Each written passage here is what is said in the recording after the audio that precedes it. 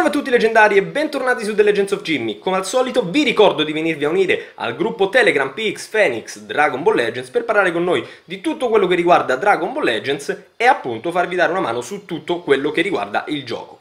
Oggi c'è stato l'aggiornamento, aggiornamento PvP, ma in realtà hanno aggiunto altre cosine. Innanzitutto hanno aggiunto nuovi stage per Veget farmabile, quello free to play, se non sbaglio fino a livello 70, che attualmente non ho ancora toccato. Quindi ragazzi, ehm, qualche piccola crono, ma la possibilità di portare Veget a 5 stelle. Cosa hanno aggiunto ancora? Hanno aggiunto di nuovo la road di Gotenks, quindi ragazzi, eh, soprattutto per chi ha trovato Veget e eh, ovviamente con Veget eh, farmabile, quello rosso, e avete comunque un Team Fusion completo, quindi con Gogeta e Gotenks Super Saiyan 3, il consiglio ovviamente è di farmarvi Gotenks, perché più lo portate in alto con le stelle e più lui boosterà il, um, il Team Fusion, quindi uh, vi, vi consiglio assolutamente di farlo. Quindi ehm, non sono state aggiunte cose eclatanti, però eh, abbiamo ovviamente alcune altre nuove missioni per i ticket, ma non ovviamente quei ticket che pensiamo noi, non sono assolutamente quelli. Ma ragazzi, la cosa più interessante in assoluto è stata l'aggiunta della Challenge Rush. Che cos'è la Challenge Rush? Se clicchiamo apriamo è praticamente un insieme di 5 sfide in cui dobbiamo andare in monocolore, o, o, meglio, dobbiamo sconfiggere tre avversari di un solo e unico colore. Quindi per esempio, se prendiamo la challenge Purple, che vi mostrerò alla fine del video che è stata completata, avremo come eh, avversari Chilled, Cooler e Golden Freezer tutti e tre di colore viola. Livello 3500 SP 5 stelle, quindi delle bestie. E um, la cosa bella è che la, um, la ricompensa saranno 200 crono per ogni sfida, quindi arriveremo a 1000 crono, quindi ragazzi va fatto assolutamente, e poi un equipaggiamento molto particolare perché è indirizzato per, per le extreme, quindi personaggi extreme di un unico colore, quindi ad esempio extreme blu, extreme rosso, extreme giallo, bla bla bla. Questi poi oltretutto sono degli equipaggiamenti davvero ottimi perché danno doppio boost.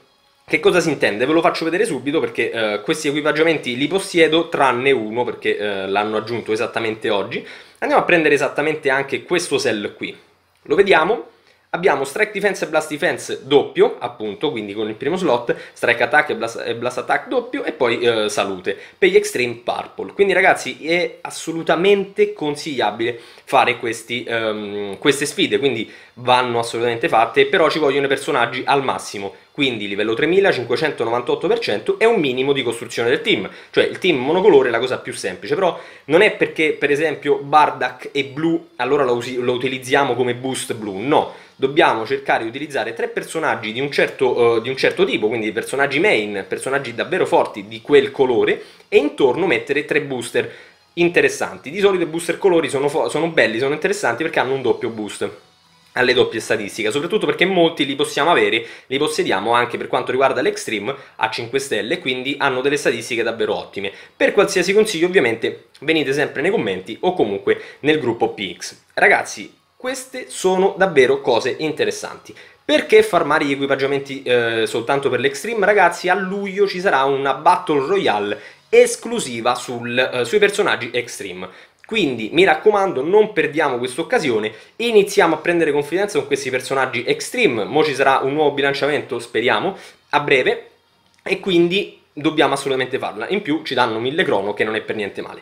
È stata anche, ehm, diciamo, è stata anche, eh, sono stati aggiunti nuovi stage per, per l'Ultra Space Time Rush con il boss finale dell'ultimo stage. Un, ehm, nel boss ci sono ben 4 personaggi. Attenzione perché eh, da come proviene dal datamine ehm, della Guruteca, quindi un grazie a UDK, Potrebbero esserci delle news più avanti per quanto riguarda la costruzione di un team, quindi dei supporti in particolare all'interno del team. Ora, magari sono solo speculazioni e altro, però l'ultimo boss presenta quattro personaggi. Non sappiamo se possa essere una specie di tag, quindi uh, si, si, si, si, dà tipo il 5 a un personaggio ed entra un personaggio in particolare, o se semplicemente quel quarto personaggio è un booster per gli altri tre. Però non si è mai visto all'interno di, uh, di, questo gioco l'avversario con ben quattro personaggi. Quindi ragazzi, queste sono le news di, uh, di oggi principalmente, penso di non essermi dimenticato nulla e mi raccomando ragazzi Adesso vi lascio con il video della, um, appunto della challenge rush di colore, uh, di colore viola. Se ne volete di più, come vi dirò alla fine del video, fatemelo sapere nei commenti. Ragazzi, per la Rush che eh, diciamo di colore viola, quindi usando soltanto personaggi gialli, quello che ehm, il team che ho utilizzato io è stato più che altro un team per scherzo perché che ho detto? Ho detto io ci provo, vado lì, al massimo, eh, al massimo perdo e la rifaccio giusto per vedere la difficoltà del team. In realtà il team è, ehm, è fatto bene soltanto per due terzi perché abbiamo piccolo extreme che quindi è un extreme ci vuole sempre nel team per completare la missione Cell che ovviamente è eh, proba probabilmente il giallo più forte di tutto il gioco e eh, Goku Super Saiyan della uh, Family Kamehameha che appunto l'ho messo lì perché ho detto almeno uh, non avevo altri personaggi a 3000 gialli avevo Goku bambino ma uh, almeno se mi ammazzano loro sicuramente se mi ammazzano lui e sicuramente me l'avrebbero ammazzato prendo un boost per gli altri due personaggi. Quindi andiamo in battaglia andiamolo a vedere in realtà il combattimento alla fine è durato anche abbastanza perché comunque sono arrivato praticamente al, eh, al time up. Vediamo che io la prendo veramente veramente per scherzo. In queste modalità bisogna cercare in tutti i modi di, ehm, di fare danno ma anche di fare pochi errori perché comunque fanno molto meno danno rispetto alle challenge a mio avviso i personaggi rispetto alle challenge che noi conosciamo al termine dei, um, delle varie road o dei, o dei vari eventi. Um, è commesso fare qualche piccolo errore rispetto alle challenge che comunque ahimè bisogna completarle entro un certo orario quindi uh, entro un certo minutaggio. Però in realtà è stato anche abbastanza divertente. Goku all'inizio non prendeva enormi danni da Chilled ovviamente se fosse stato Freezer Final Form avrebbe disintegrato molto probabilmente.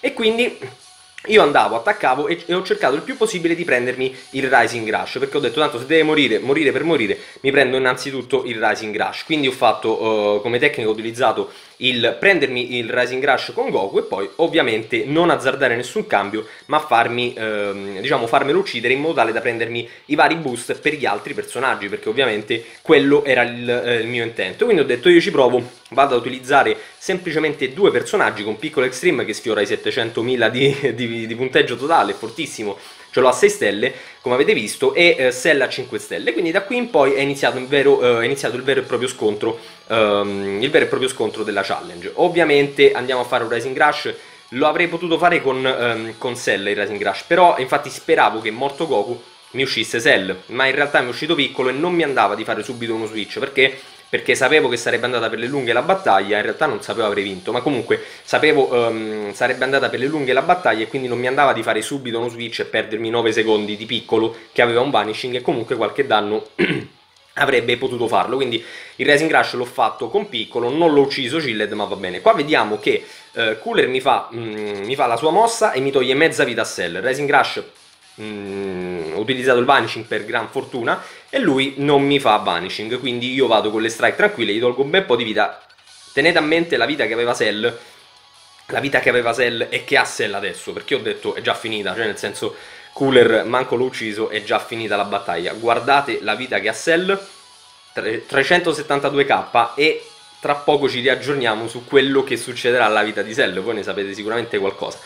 Già con piccolo ho recuperato HP per Cell stesso appunto, però ovviamente l'avrei potuto fare successivamente quando magari piccolo aveva un po' meno di vita in modo tale da recuperare un po', tipo adesso, adesso l'avrei potuto fare così recuperavo sia Cell che piccolo, però non fa niente.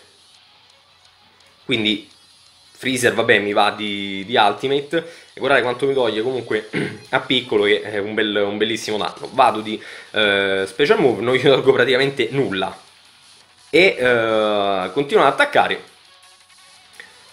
e metto in campo Cell, quindi Cell già con il recupero suo che ha quando sta uh, comunque in stand by e quello di piccolo ha preso già il doppio degli HP che aveva poco fa.